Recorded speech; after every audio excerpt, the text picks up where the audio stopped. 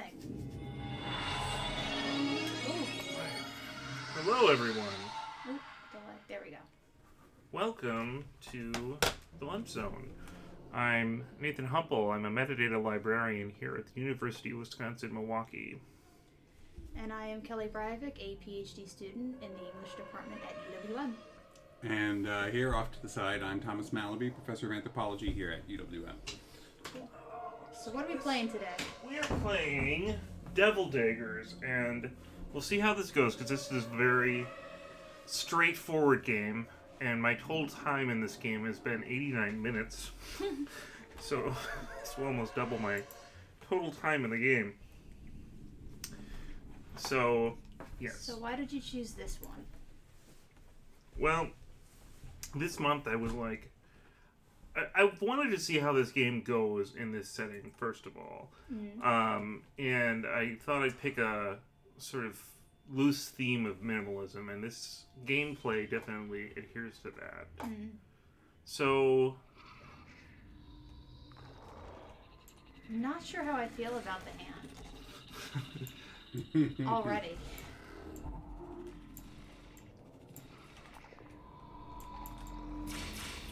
Because here's the thing with like a lot of uh, uh, it might just be me, but like when with first person, like I feel like I don't see a lot. Like I feel like I should see my whole arm, not just this. I feel like this guy's got T Rex arms, um, or maybe like his arm comes right out of his, his like neck. It's also Like- this weird kind of jackhammer animation Mhm. to the arm, like, you know, so that's it. What? that's it. That's it. That's the whole game. You have to survive as long as you can in this arena. And that is it. More, and it's always the same. It's always the same. spawn. Yeah, yeah. I could see why your total game time is 89 minutes. Not to throw shade at this. So if you don't destroy the large ones, they launch more skulls. yes. And the skulls that have been launched, they just keep bouncing around. They pursue you, actually. hmm Oh, I see. Yeah. I mean, this seems just like a literal nightmare. Like, no rationale or reason. hmm It's just, you know that you have to survive. Like, you Yeah. have that instinct even Oops. in your dream. hmm And that's it. Oh, we got a. Whoa, trippy. Infinite space. Question mark. No, there is an edge to this. Um, a very hard edge um, that you can fall down. In fact, why not? So you're essentially on a platform. yes. Are you given like a how to, or is it just that I know how to move and I know how to shoot? Um, it's basically I know how to move, I know how to shoot. Um, there is a there is a mode. There are two modes of your shooting. Um, there's the sort of machine gun thing, and then there's also what is sort of more of a shotgun thing if you tap the button. But it's really I always find it really hard to implement because you you have to tap it. You can't hold it down at all. If you do, then you get a very short burst of the machine gun. So it's kind of awkward because if you want if you want to do it and you fail, you may end up really messing yourself up more than you wanted to. Is it one hit and you're dead? Yes. And score submitted. Is, is there? Are you just basically locked into a kind of global leaderboard on this? Yes. So, um, I don't know.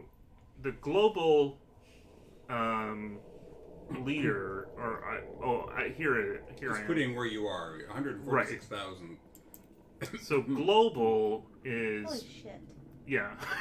That's wow. how many God, seconds. it's like it's like worse than going to the arcade because like you're Oh, right. dealing with like the best of the best and not just the best in your town. Right, right. And that was 24 seconds. And my best time is 53 seconds. Um, also, RoboMofo is asking, do the enemies change based on how long you survive?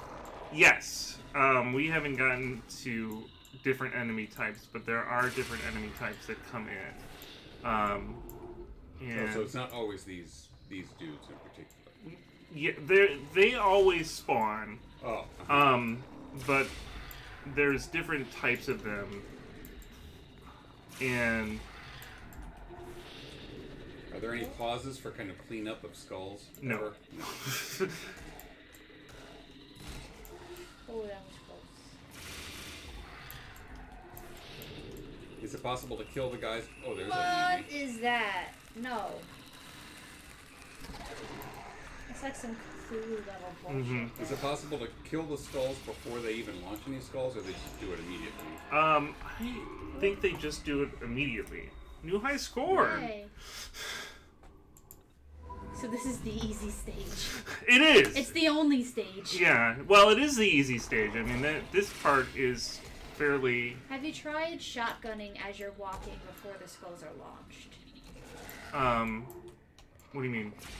Like, because it seems like the shotgun has more range, and it might. I feel like it might be possible to Mm, get to ju- just get the skulls right out of the way. Yeah. But like. Before... They scatter pretty quickly, though. Oh That- no, I mean like shooting the thing before it's able to launch a significant amount. Oh, um, I can try it, but you have to hit the. First of all, I have to find it because I'm always Right, kind have of to be close disoriented. enough to it to do it. Yeah, Okay. and you have to. This one you have No, to you hit the red dig no matter thing. Oh, just like on that other one, you had to hit that thing that was flashing. at that Yeah, the skulls you can take out pretty quickly. So this game is relying a lot on just inherent game knowledge. Like, I don't Yeah. think that this is expecting. This is like so. This makes me think of if you had to introduce someone to video games, what would that game be? It will not be this one, but No, uh, well, it depends on what you want to introduce. I mean, it, this one also has a very simplistic concept. right, If you wanted to say, well, here, this is very much an arcade game, right? yeah, um, you know, it's it's it's even simpler than something like Pac-Man, just Right. because um, you only have the one level. Uh, but the concept is still as simple as Pac-Man. Just don't die, essentially. Yeah. Well, Um, and, and Space Invaders, and Yeah. you know, so many the Yeah. asteroids and all the rest, right? Galaga.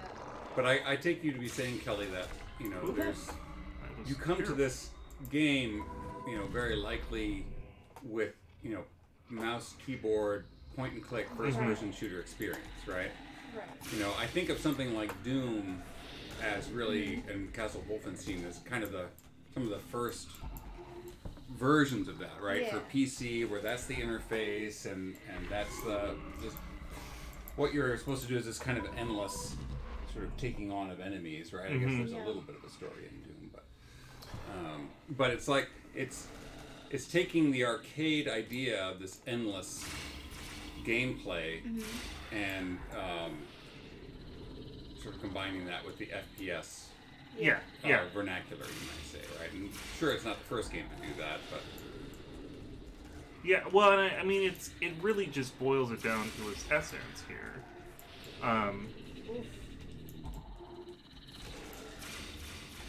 I'm trying to hold off on the obvious point for pontification.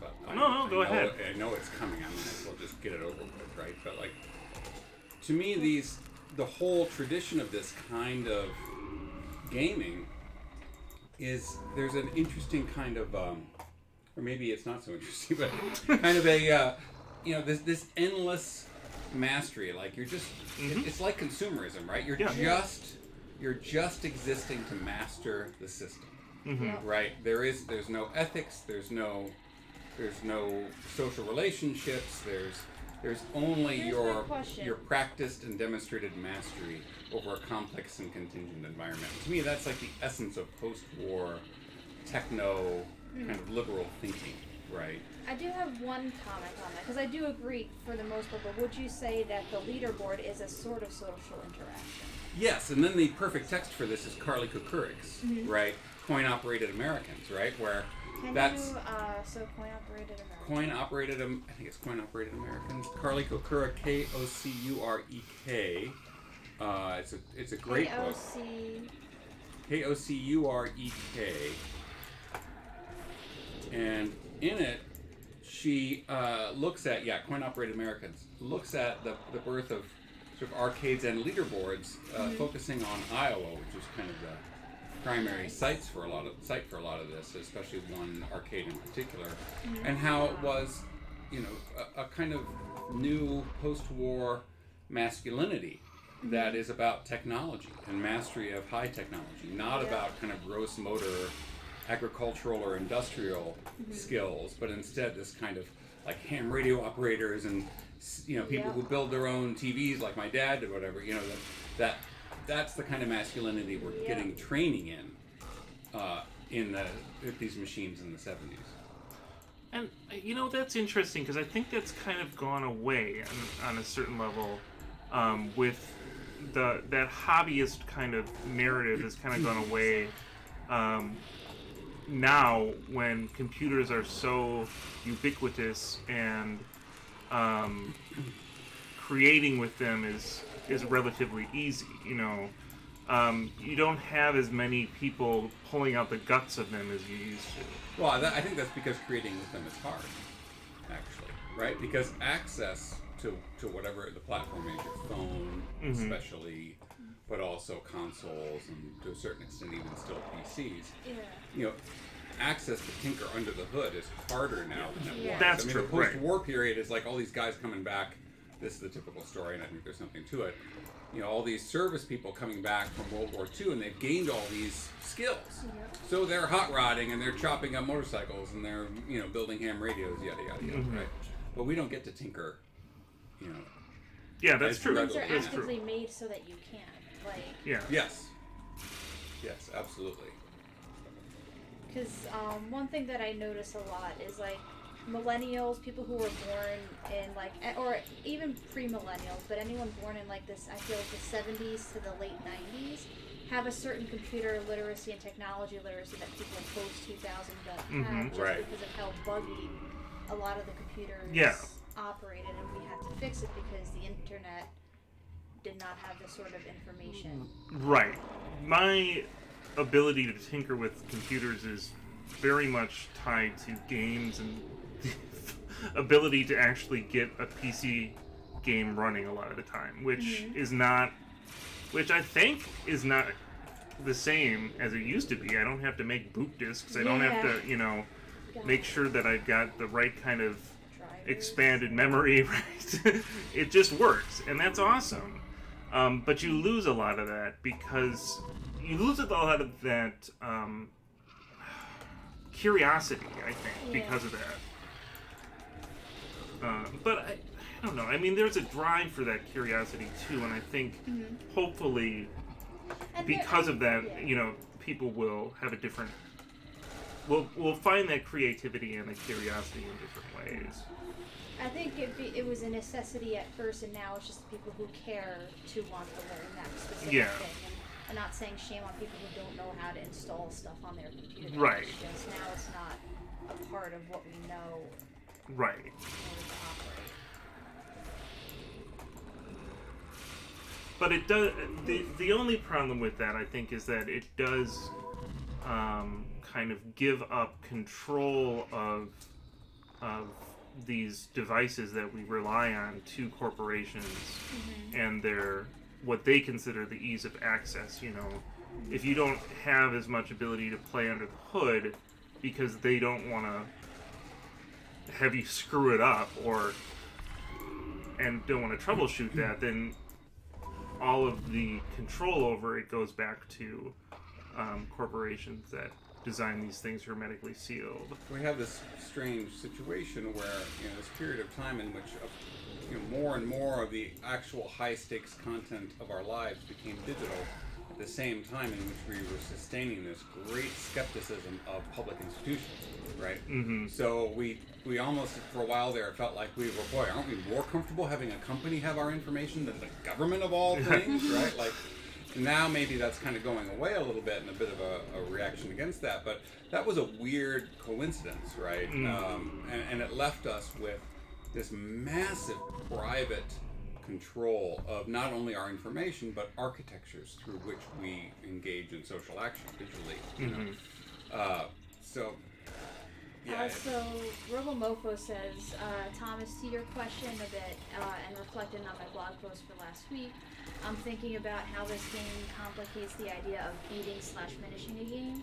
Um, it seems that the main obstacle of this game is not the enemies, but beating other people's and your own scores. So gamification of self improvement, and he hates the word gamification, by the way. yes. Yeah. No. Yeah. Right. But but absolutely. Yeah. You know, it's uh, there's no there's no content other than to develop and display mastery. Mhm. You know, uh, technical mastery, mastery of a complex system.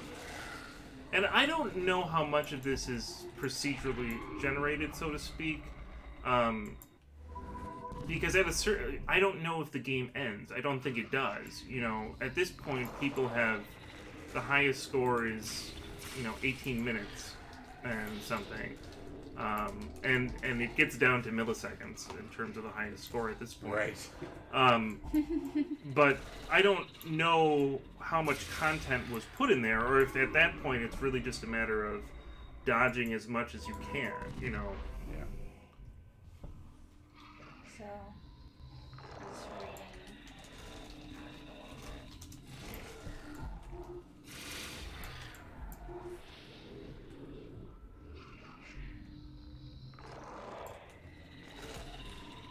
feels like a perfectly timed shotgun blast could take out that Yeah. that volley. You know, you're there in the right Oh my gosh.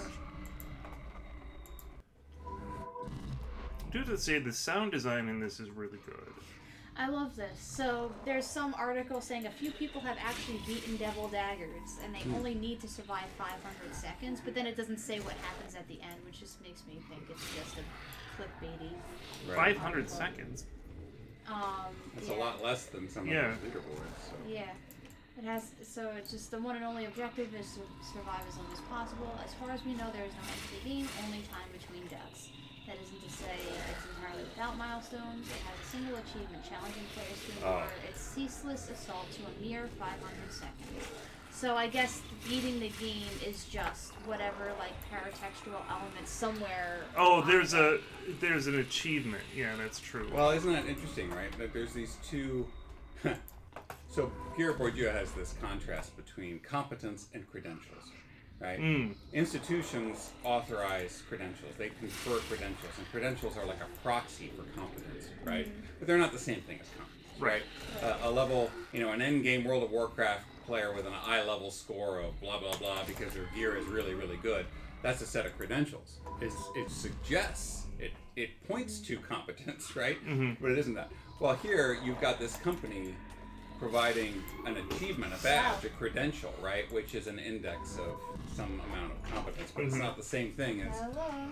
hey, all of these. Uh, it's not the same thing as people competing against each other, Right.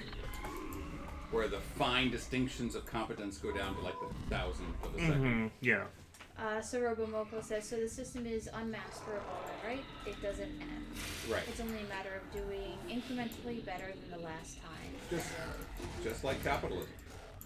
Yeah, I and I don't, you know, I don't want to criticize that because this game, it, it is what it is. You know, it doesn't really make any um, bones about what you did there.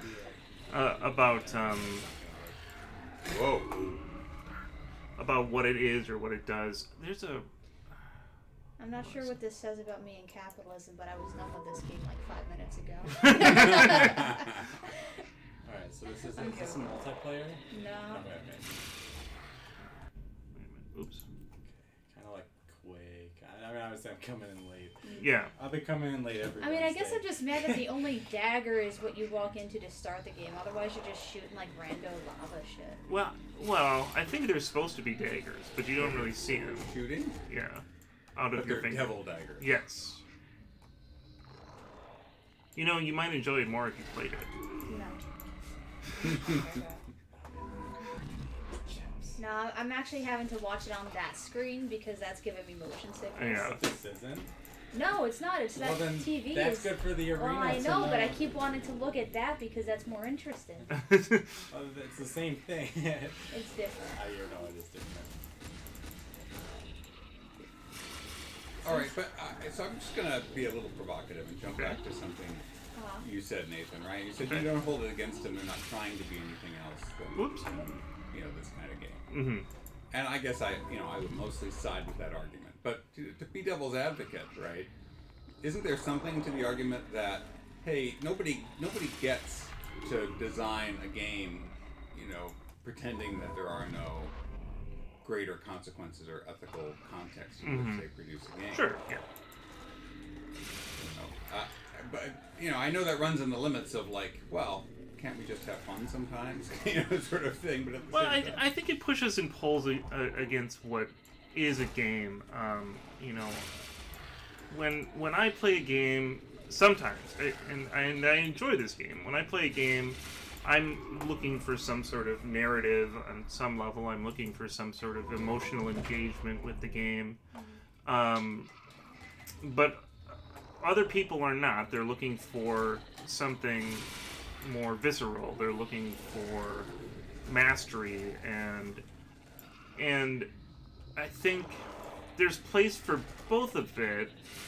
Um, and that's games are somewhat un- well, I don't want to say they're unique in that art in that form, in that way because there are there's there are yeah comics and and movies you know uh, not always in the mood for a Fellini movie Uh, you know sometimes I want to watch a Marvel movie um, or even like Commando you know so there's more visceral reactions and it would be unfortunate if and I don't think this is what you're sort of pontificating about admittedly but it would be unfortunate if we didn't have those other pieces um, in the medium that boiled things down to a more visceral response.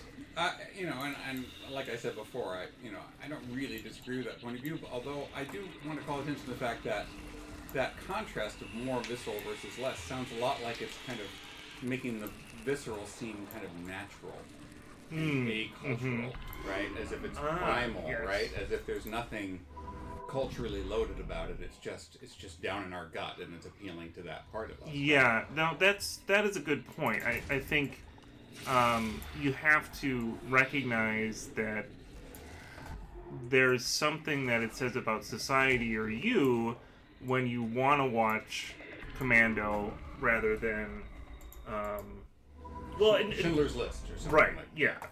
Um you know it it it's not that you just want a dumb movie. What's defined as dumb has its own um, characteristics that are not natural Right. Well, another way to put it is, well, any any cultural product that we take in, we consume, play, whatever it is, it you know, uh, there might it might make sense to think of a spectrum. Is it confirming your expectations or challenging them? Mm. You know, and Mhm. toward the end of simply confirming your expectations, then maybe there's some room for some cultural criticism hmm of that. But but at the same time, you know, I like a I like a mindless shooter as much as anything. right What was um that that text we had to read for Tammy's class where they put it in different categories or ones that actively change, ones that play into, ones Oh, that that's a great question, but I do not Oh. know it off the top of my head. God, it's a film thing. One second. Ryan, help us out. You were there. Yeah, there's like a film theorist who like details that like um, some works like act like are both are like. Is it, it was a communist or not communist it was a, a Marxist? Marxist theorist of a man oh man. The gist of it was that like some things are actively like um, challenging your like your notions of capitalism like and it's like it's like a binary thing where like it's like one one like you can you can tell that it's challenging it um, visibly and it is challenging it Mhm. there's ones that like you can tell are like masquerading as challenging it but aren't challenging it Right. there's ones that you can't tell that they're challenging it, but so like they're subversive. And then Mhm. there's ones with the zero zero. They're conforming to capitalism, and Right. both in both their visual presentation and their subtext. Right. And Right. so maybe this would be, you know, that zero one, right, where it's not actively commenting on anything, but it's subversively. Maybe we can wean something from the text, Yeah. but it's not useful in the audience. You can't Yeah. look up the theorists. I know. I'm eating a sandwich. Okay, give me. Whatever. Let me look at D2L. I've been teaching for three hours. Whoa. Yikes. You know, and we've talked about the kind of uh, the architecture of the game, the kind of endless, you know, individualized uh, mastery of a complex continued environment. There's also the kind of more explicit semiotics of it, right? It's a bunch of flaming, you know, devil skull type things launching skulls at you. Right? Yeah, I, And I'm not saying that. I'm not saying that as a criticism. It's No, I- it's also it should be on the table. yeah. I mean, this has a very specific aesthetic, right? Yeah. Um, you know that in theory, this game could be done with just random shapes. It doesn't matter what they are, you know. Yeah. But there's a, it has a Was certain it Kracauer? feel um, about It it, was late in and the semester. I think it was after crack hour. because of what you're shooting. You know? down in Cahoots. I think And it it, you know, I think I was trying to think of some other examples of games that have a kind of uh, No, that was in minimalism to them, but maybe which Oh, don't yeah. lead me to was. I thought it was. Oh, feel concerned about some of these Yeah, I think it issues. And, French and film. Nidhogg is actually one of them, Okay. right? Because Cinema Yeah. Yeah, I mean. Yeah. you no, and somebody it. else are like stabbing each other, Mhm. and there's a little bit of kind of gore in it, and all, but there's this kind of prancing quality also to the animation. You know, Yeah. there's, a, there's it's it's a little complicated. In, Yeah. in its mixture of signals that it's in indices that it's giving you. Yeah. which is kind of nice. Whereas this one is just sort of it has a very consistent aesthetic. Yeah. I mean, we're talking about cultural heritage. Can you jump? No. This is like really reminiscent of like Doom and Quake. Yeah. Right, we were saying that. X Yeah, Men. Yeah, absolutely. It's the first first game I thought of when I saw it. It's like I mean, in Doom you can't jump either. Or no, you can't jump in Doom, right? Nope. No, you can't. Okay, good. No. You can't look up or down. Um. Yeah. Doom is very. Um, you know, you don't have a, a reload button or anything like that. It, in comparison to anything now, it is very uncomplicated. But it's also it takes a lot of different skills to really master it. Um, and this is fairly. I mean, it's really uh, complicated as well. You're basically on a. Um, although it looks somewhat 3D, it's really more 2D, right? Um, I mean, the the graphics are 3D, but you're only moving on one plane, right? Hmm. Oh, you can't. You're aiming though. You can't move. Yeah, back- you're- You can't move around like backwards, forwards, uh, on track.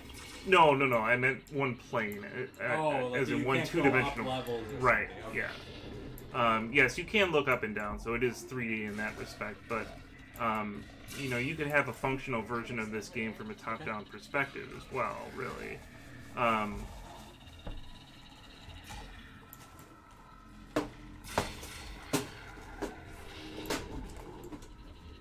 I have to admit, it's kind of engaging. I mean, that whole way in which you know there are things behind you. yeah. It. You know, it has a little bit of that horror quality in, from just that experience. yeah there's things always chasing you and Right. and it it it's the strat the, the strategy here is attempting to figure out when to turn around when to just keep running you know um, and kind of juggling those different movement techniques that you have That reminds me of the Binding of Isaac.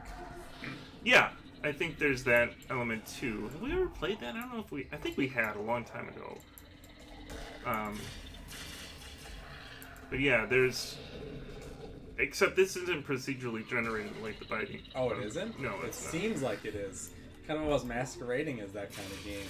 yeah i think i don't think it is i think the enemy placements are fairly rote um, but I, I could be wrong on that Is there bounds to the level, or does it just yes keep going up? no there's bounds there it's the platform. You Yeah. can fall off the edge. Okay. It's a shame you can't, you know, even if it were nice and kind of difficult and a challenge, that you can't lure the skulls off the edge. That would- right? yeah You could play like, you know, play chicken with them. yeah right Essentially. So, th- so there's there's levels then. It's like this is like a course, and like when you beat this, you'll unlock a new course. No, it's No. all on this one. Yeah. It's just Or, I just- mean, like, like if you beat, can you beat this? no. Okay, so it just keeps going. Just- yeah. Okay, um, okay. so- and that's what I was wondering before, because I don't know if at a certain point the enemies just more quickly respawn, or, or you know, it, Does the difficulty kind of ramp up? yeah, like where where does the design end? Um, and then it just sort of like iterates. I'm not sure. Um, I haven't gotten that far. I haven't survived over a minute in this game. Oops. You want to try? Sure. All right. Excellent. Oh, yeah, thank you. Okay. All right. So I just click retry. Ooh, this is kind of caught up right now. No, I guess I can't do anything about it. Let's see. Ooh, this is. All right. I just will accept that this is very sensitive for the way that I typically play games. There is a shotgun uh, Yeah, if you- fire, if you which is tap just it- tapping it, Ooh. which could be useful for clearing out a bunch of those dudes. Yeah. I always have a really hard time switching between it.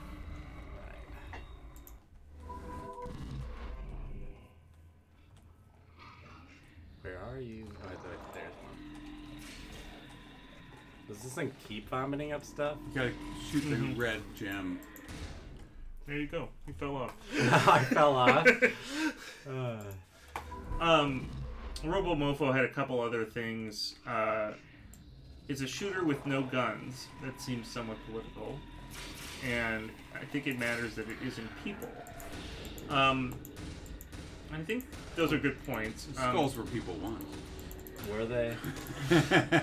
I mean, they I are. Um. Yeah, it's it's. I think it's. Ooh, I almost fell off. yeah.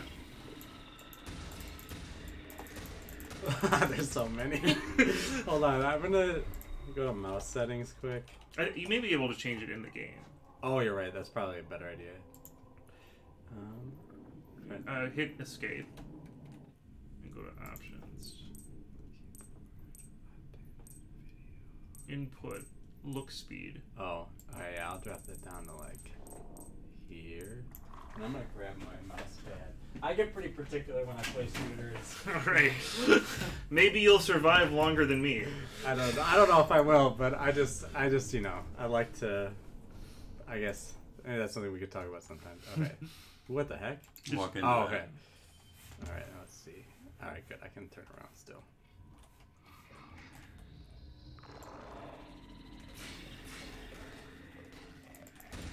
Ugh. Feels like I'm. Oh, that's oh, it's shorter sh- distance. Yeah. The shotgun has to be the right distance away.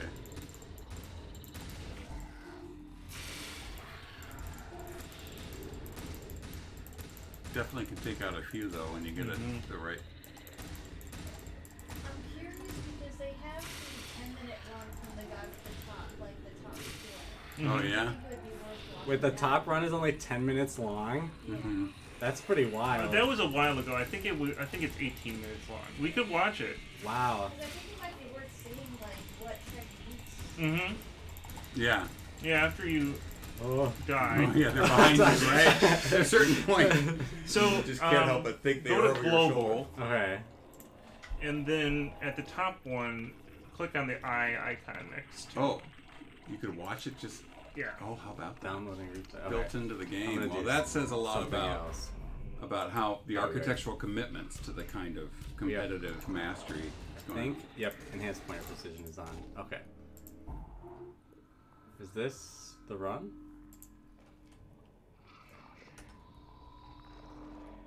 Uh, That's how you win. Oh, alright, there we go. Okay, so he killed them with the without the shotgun. He just Mhm. He just spam shot them. Okay. and he stands still at times, which is Mhm. interesting. Maybe that's got to redo do Yeah. with how they spawn. And also to tempt them toward a particular spot. Hmm. Maybe they only move- spawn they when you in. move. Oh, maybe. And he keeps them around. Yeah, and grouped up. I should say they. they Maybe it's because around. there's only a certain number of enemies can be spawned at once, and those are like non-threatening enemies for that. Whoa, is that like a power up of some sort? And I think it is. It's always interesting when you see somebody who's really skilled. Sometimes their their actions will seem nonsensory, like he like sprays in like Yeah. certain patterns that don't seem to make sense from a longer Mhm. distance. But he, Yeah, he's just doing a little damage to them, but he's not trying to. he finds like a hole in the skulls and just runs through it. Uh huh. He wants them grouped up, I think, is part of it, so that he has mostly the perimeter to himself. It looks like to me. Yeah, it looks like he's he's kind of moving them towards the center. So that's Yeah. why you don't get them coming from behind. Oh.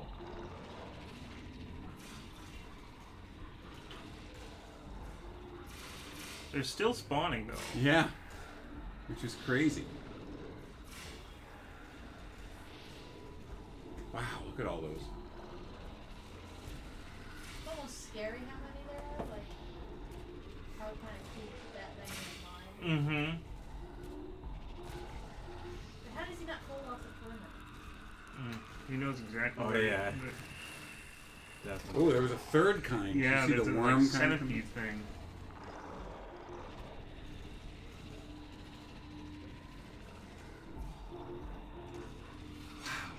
Yeah, it's Wow. funny. You see, like how amateurish you are at approaching these things. You know, looking at people that are doing it this long.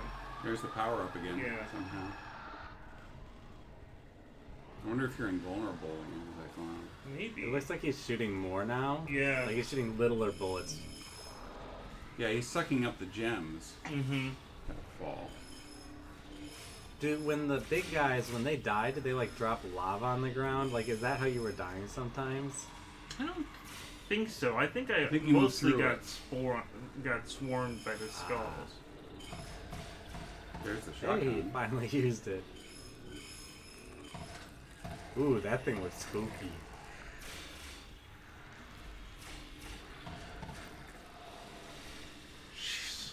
Wow, Gotta be just that is fearless. impressive. Ugh. Now he seems to be taking him down. Yeah. It kind of reminds me a little bit of a MOBA game, in the sense where like, alright, so let's say you're playing like mid lane in Dota or League of Legends, Uh huh. and like a good mid lane player knows that they can go under the opponent's tower to kill the opponent and when to go in and risk it all Right. to get that Uh-huh. kill, because like that's how you get ahead. And that's like seems to be what this player is doing at times, right? Just taking like a what seems to us to be like an insane risk, but he understands it. He understands he can just run through the skulls, right? Yeah, Mhm. look how he's cleared them out now.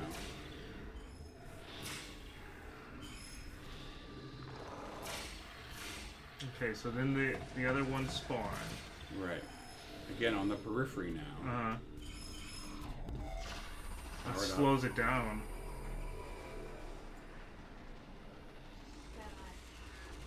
What the heck? That's pretty wild. He knew where they were going to be appearing. Yeah. That's a big part of what he's doing all powered up. Yeah, look how much damage you can do powered up this way. And Mhm. it keeps increasing. It doesn't look like it's going away. Oh my gosh. So he follows that one all the way down to get all the gems. The- Wow, without a single error.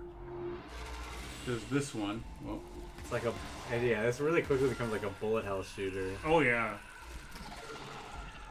It's like Gradius. oh, is that there's a. f- I know that's a new one too.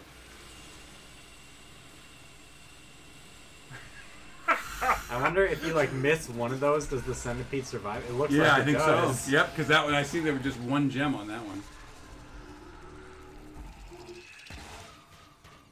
Robomofo suggests maybe he's trying to get the frame rate to drop. Doesn't seem to be though. If you want to do that, just have a crummy computer. Uh, yeah. Or run it with your bad graphics card. But I do think the key is the more gems you pick up, the more powerful your attacks are. Yeah. And at a certain point, your shotgun becomes really worth it to use. So these are like the originals, but they have like four gems on them. Yeah, it looks like They're like, I'm not sure if they spawn more. Is that the five, the you know, what was that, 500 five minute, 500 minute? seconds, Yeah, 500 second mark. maybe. Yeah, so now he's waiting for them to come in because those don't seem to re- don't seem to spawn the skulls that often. Maybe when you when you move. No. Yeah, you're right. What is that? Whoa.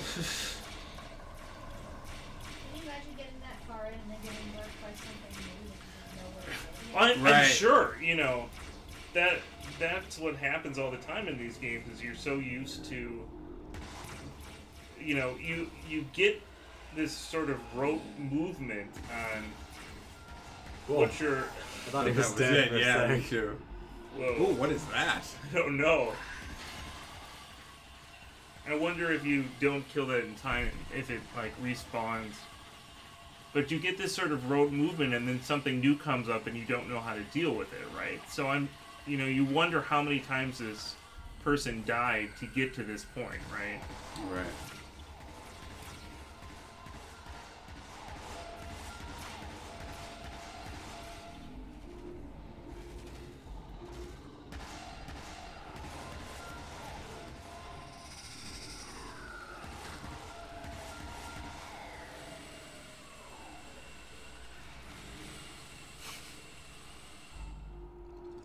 Oh my gosh. Oof.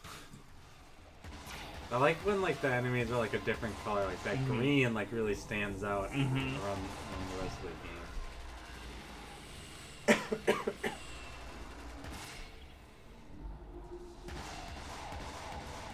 yeah, now he uses the shotgun to clear the skulls, which he Mhm. didn't do initially. I wonder if it has longer range too. Oh, now like than it did before. Yeah. I could see it.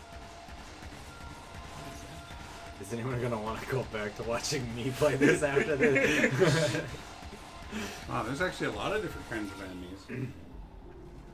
Because that's a different centipede. Yeah.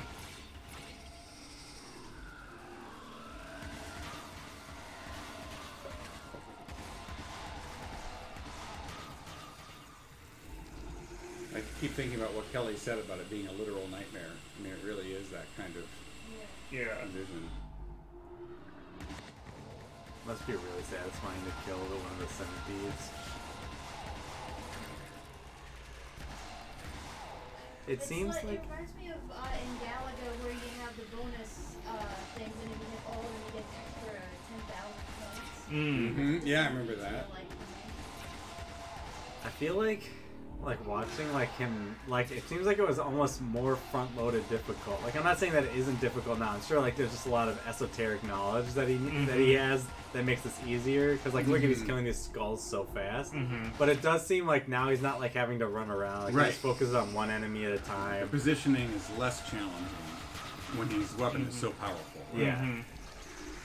It reminds me of like going back to Binding of Isaac, like in that game, like when you get some sort of super powerful item combo or something, it becomes really easy to just like blow through like previously extremely difficult challenges. hmm Like oftentimes, what kills runs is something in the early part of the game. instead of the Yeah. Yeah, Yeah, look at that. He just cleared out all those skulls in one shot.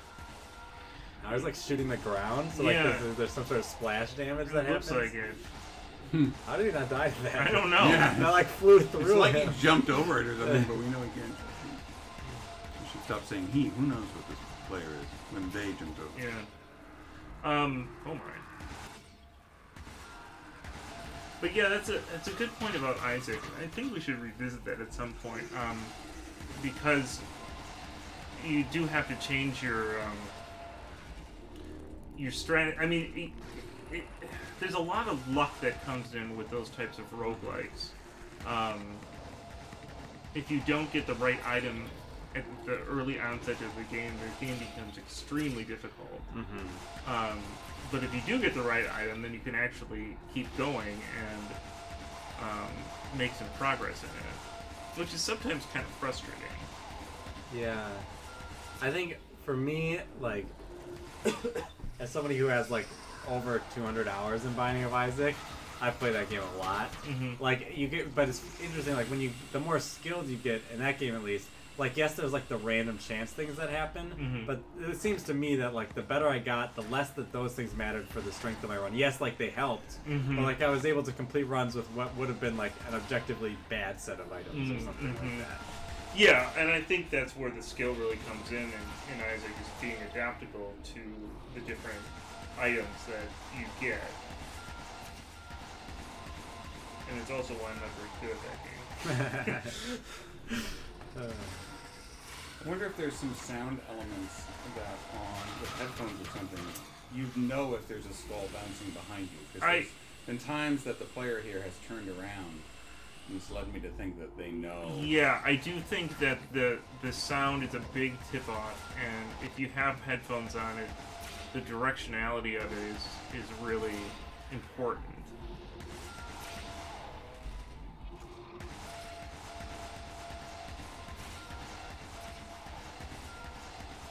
yeah, it's not gotten a weapon upgrade in a while.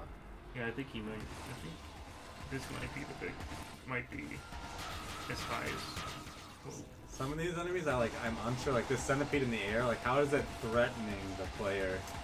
I don't know. I'm not sure. I'm not sure. I'm not sure what those things do either. Do they all just summon skulls? No, it's really only the tentacle things that summon skulls. Maybe if you bump into the spike-like thing. Yeah, that you die, that might be it. I mean, that's enough. Yeah. Oof.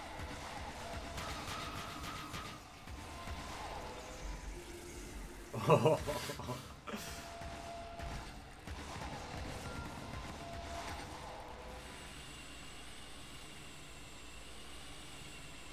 It's just like an interesting take on, I guess, because I guess it's because like it's like an arcade game, I guess, Mhm. like more than anything else. Like I think like like like because like I've been doing a lot of research into speedrunning recently because like I'm thinking of we're gonna speedrun a game for the arena in a month, um, and so I think that um, like it's interesting how like there's like this switch when the consoles came out where like you know before Super Mario Bros like the uh, the visual like indicator of skill was the high score right Mhm. and like and after consoles and home gaming became more popular it's becomes less about like some high score or making it further and more about how fast you can do it right the speed run Mm. like it's kind of like that classic switch of what the single player experience or the marker of skill in the single player experience Mm. is. Yes.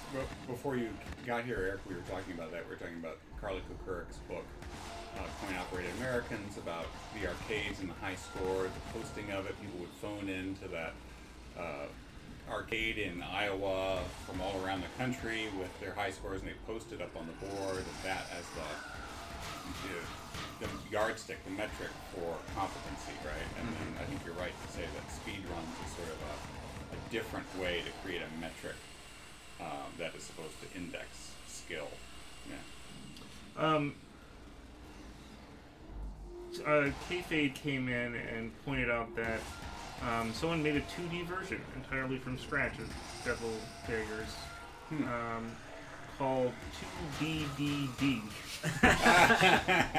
um, but yeah, it'd be interesting to to see the difference in in that. the way that this player takes out those caterpillar things is just it's very satisfying to watch. Yeah. Hmm.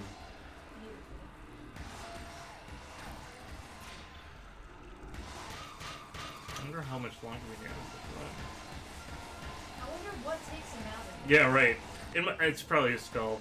Just something really. Well, it does seem We like all we know what moved it'll very be. carefully through those We've fights. been playing Yeah. enough Or know. Yeah, it does seem like it's maxed out. I hate, you know, never say never, but we haven't seen a new enemy right. quite a long time now. So, it, you know, I think in this case, it's just a matter of the amount of enemies that are coming on screen. Um, it's also just like Dr. Mario, there's 20 levels, but once you beat level 20, you just keep playing and playing 21, 22, 23, 24, 25, Right. so on. Mhm. At the level 20 difficulty, Mm. how many can you get. Yeah. yeah. I find that there's something really disarming, interestingly enough, about this style of game, like with the roguelike style or the Dr. Mario Tetris style, that's like more accessible because it's like just knowing that you will fail and you're just trying to like last as long as you can, like with Tetris or something. like I, I don't know about you guys, but for me as a player, that often like eases the blow of failure, right? And Yeah, yeah, it's yeah, that's true. I, I think, and what's nice about the, I mean, the, what's kind of discouraging about this is that the leaderboards are so far at this point, you know, and it didn't take that long for the leaderboards to get really out of reach for the average player, right? I mean, there's just people that can go into a game and master it, um, you know, within a couple weeks or something. Um, and then they're competing against the top level people on a global leaderboard. But you can still compete against yourself, right? Mhm. And I think there's always going to be some. Um, what is even going on anymore? There's, I can always, see why he would die. Right. point. there, there's always going to be some um, motivation to compete against yourself in, in these games.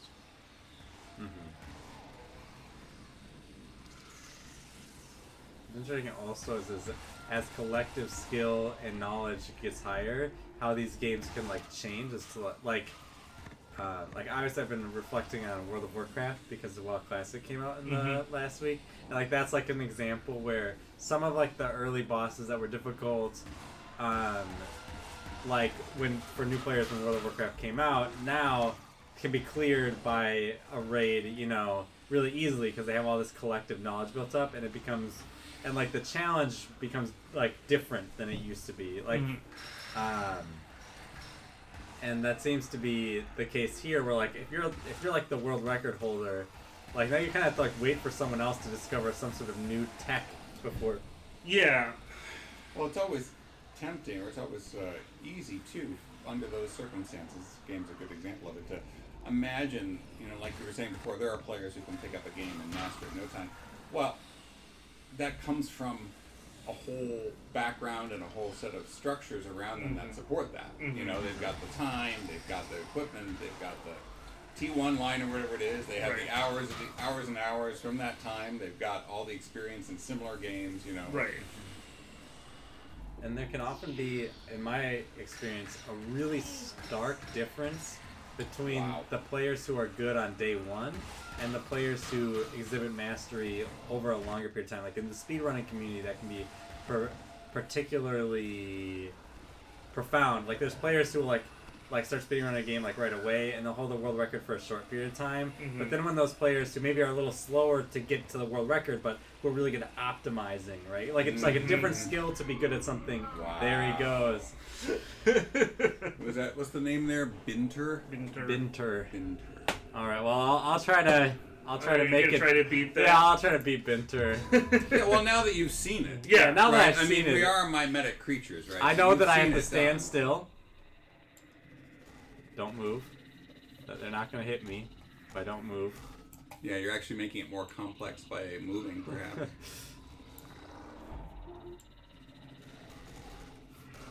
Now I moved, so. I now, are the skulls slowly coming to the center? There, that one is. oh. Okay, okay, I got him. Ah! The big dudes, yeah. Standing still is scary. It's certain when he goes to the outside. Yeah. I don't want to kill those things, I guess. But you do want to pick up gems. Yes. Oh, okay. I, I didn't. Uh, I think I don't think I knew about gems until now. um, stand. I will say, I believe standing still, the gems start to come to you, um, which is a strategy that has its pros and cons, of course, because you'll get the gems, but then you have to be um, pretty vulnerable. That was like a drive-by. Not as easy as we thought.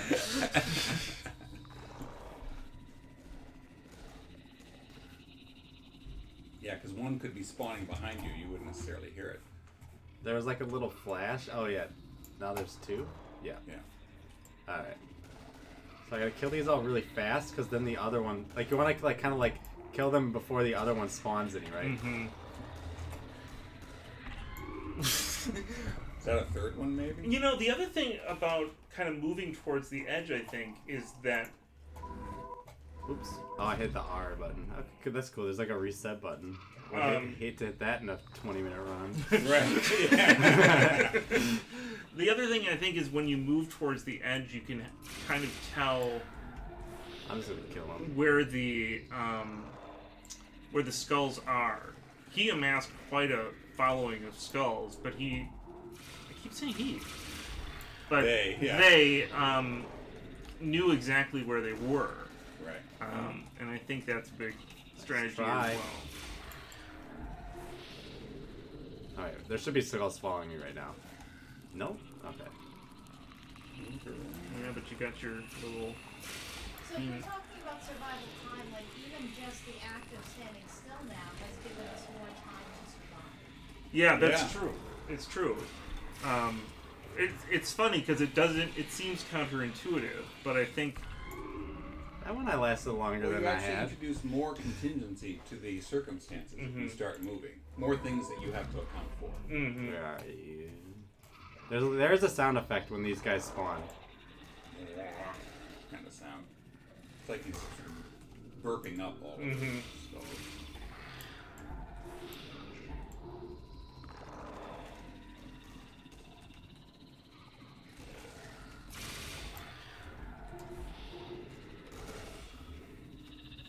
I wonder if killing them makes the next one spawn faster. that it might that might be true, or it might not. I don't know. Wow, I can't I can't hit that one. Yeah. Well, the ones that have that sort of they float a little more. The ones with the horns, it Mhm. almost seems like. Oh, Got your spider guy. I don't yeah, the sounds are really important. They really. Oh, they they shoot stuff. Oh, and then he Spider shuts down for a second and. Oh, I need to can't can't get tunnel vision. Yep. I had the, the exact same score that time. It was 59 and 59, I think.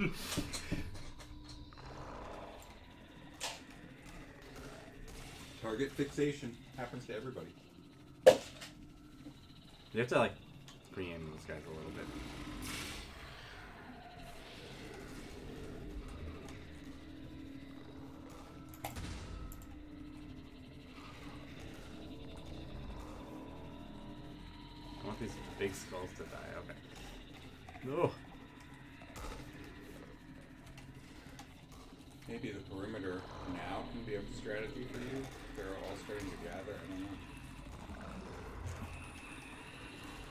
Lot of skulls. I Mhm. feel like the fact that I didn't take them out made it harder. Yeah.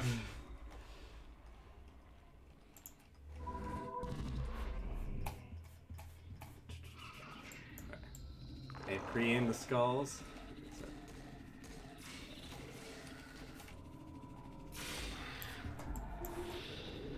And when you Wait, flick, it- where is maybe the shotgun if you're the right distance away, then you don't have to be quite as accurate. I don't know. Yeah, I think that's part of it too. There's a pretty big spread.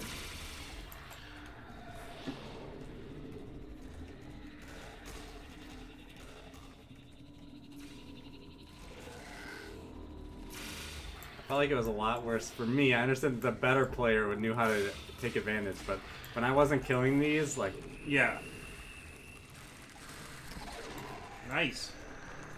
That was good. Oh, oh, that was close.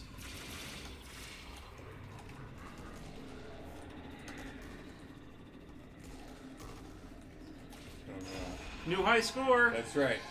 for me. no, I did, I, I did it, guys. I'm just thinking that you know we're gonna we're gonna see some news you know posted in our Slack next week. Eric has beaten Binter. yeah, right. I don't think so. All right, we got two minutes left. Two, Two- more tries. Two more tries to beat my high score. Okay. Ooh. But you know, to get back to one of the themes we started with, you know, there's such a self-contained, um, you know, person against system Mm-hmm. Quality to this game that that is a the big component of it's how engaging it is, compelling, right? Why are you flying so high? Much still? like the video poker machines that Natasha Dow Schüll talks about, right? It, it, you keep coming back, right? Mm-hmm. Yeah, it's very easy. I mean, this is a this was a, a very easy game to play late at night. um, when I didn't want to go to bed. Right? It's it really encourages you to try and try and try and try. Um, Is it fair to say maybe that in uh, computer games or all games, the more isolated we are, the the easier it is for game design to sort of capture our attention? I'm it? not sure what you mean by that. Well, because there's the social elements are so on the periphery of this game. Mm. You don't have to think about them Mhm. while you're trying to master it, right? It's only in the pause, you know, between tries, right? And otherwise, you're just diving in, you know, under the hood, you know, or diving into your little area of mastery. Mm. And I, there's something similar, I guess I keep thinking about Natasha's addiction by design while we're playing this game. The, the way in which that sort of full attention, you know, is sort of grabbed and held within something that feels very set apart from the other relationships you may have. Mm. Yeah, um, there's got to be something about um, the game design in there as well. I think um, there's there's an isolation in the simplicity of this mission. I play with Um, one hand. it seems. I think part of it is it seems that you can master it. Right. Um, if you try again and just Which one go now? This one? left when you went right, your run will be long. Right. Right. Um, and so there's this false sense of of um, a false sense of, of mastery or a false sense of um, understanding potentially um, Right. that you My lives are pretty long for yeah one for not moving at all. uh, it's 101 though. all right, well. I'll stop torturing myself. I'm glad we actually got through the whole hour with this game. I was kind of concerned, but uh, Thank you, uh, Bittner. Or Bitter. um, Bitter. Binter. So, thanks everybody for joining us. Um, The NBM's in like an hour. D and DM's in an hour. Oh, nice. Uh, we got the cat's mustache tomorrow, Mm-hmm. And the arena. and the arena tomorrow. Um, and next week, I think we'll be playing Parallax, um, which is kind of a puzzle game. Uh, so thanks everybody for joining us. Goodbye. Right. Bye.